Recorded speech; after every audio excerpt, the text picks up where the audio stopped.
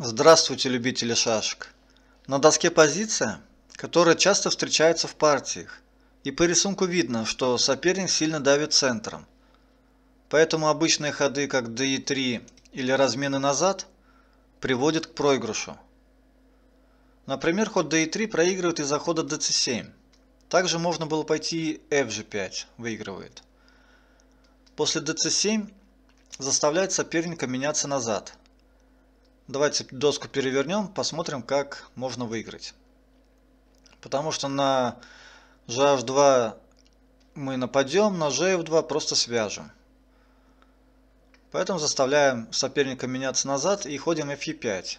Грозим поставить сильный тычок, где будет одна шашка держать две. Тем самым также заставляем меняться назад. Ходим DE5 и абсолютно на любой ход белых мы пойдем HG5 и додавим эту позицию до победы. Следовательно, нужно проверять не только обычные ходы, но и жертвы шашек. Ход АБ6 спасает позицию белых. Жертва шашки и БЦ5. Ставим сильный тычок. Нужно защищать эту шашку. ДЦ7 и ходим до c3. Позиция ничейная, так как есть компенсация в виде сильной шашки c5. Нужно рассматривать и необычные ходы.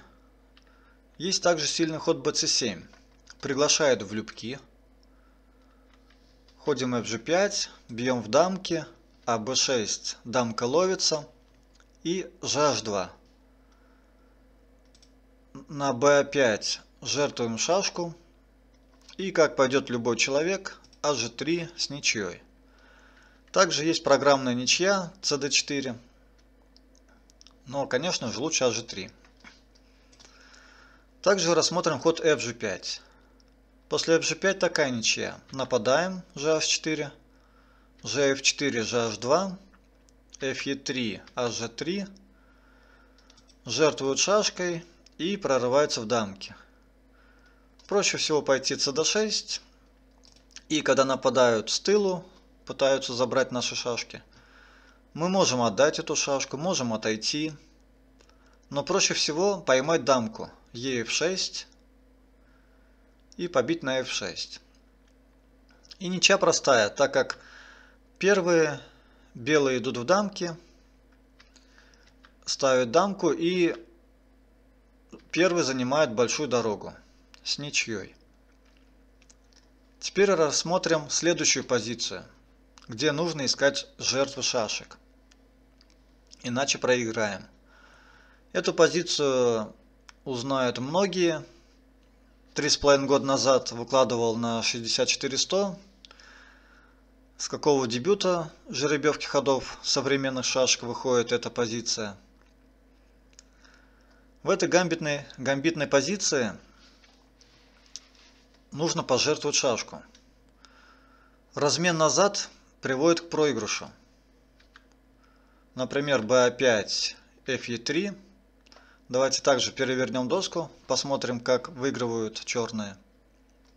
ab6, ag3, de5, gh4, ed6, размен назад. Суть черных заключается в том, чтобы шашки с длинного фланга не могли выйти fe5, fg3, bc5. На gh4 мы связываем и сходка в пользу черных. Ходить некуда. Если в этой позиции меняются 2 на 2, то также ходим АБ4, АЖ3, ДЕ5, ЖС4, ЕД4, АЖ5 и БЦ3. Забираем шашку. Белым придется еще одну шашку отдавать. И с кучей шашек черный выигрывает эту партию. Теперь какая есть ничья. Ничья после жертвы шашки cb4. Бьют на c5 и ходим dc3. Ограничиваем ходы. Не даем вторжению, уже будет простая ничья с помощью подрыва GF4. на b5 cd2 и у черных два плана.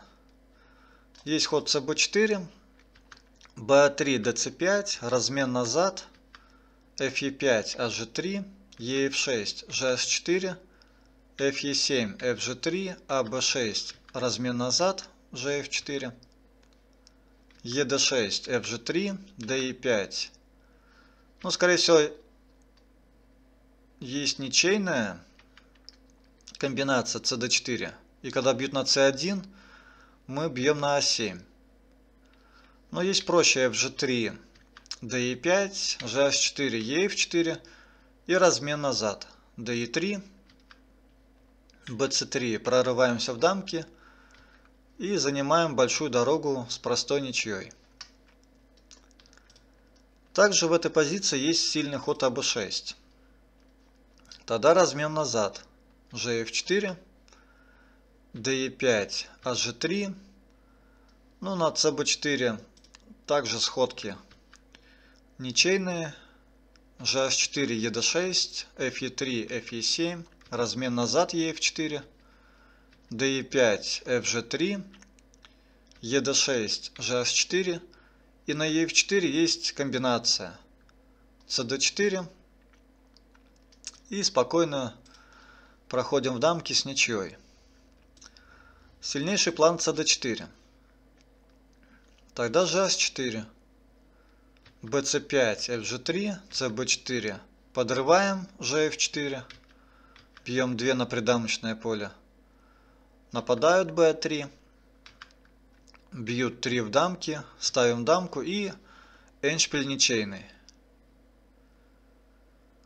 Тут никак не поймать.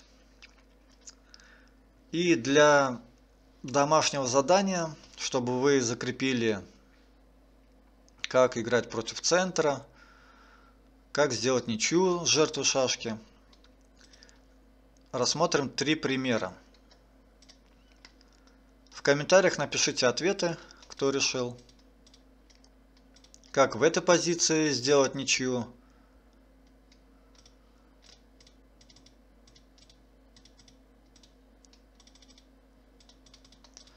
В этой позиции тоже белые должны найти ничью. Напишите в комментариях. И под третьей позицией домашнего задания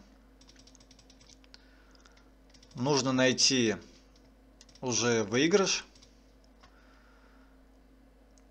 Белые начинают и выигрывают. Также напишите в комментариях ответ. А вам спасибо за внимание. Подписывайтесь на мой канал. Шашки для всех.